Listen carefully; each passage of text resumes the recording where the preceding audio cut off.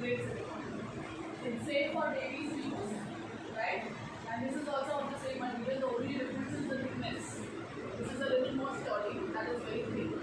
Okay, but it's also safe for you because you're going to insert it in your vagina. Zero chemicals, no leakage at all.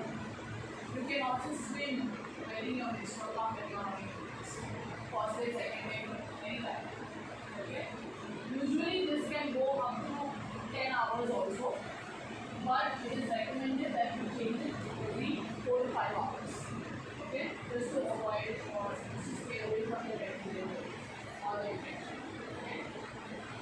how are you supposed to use this?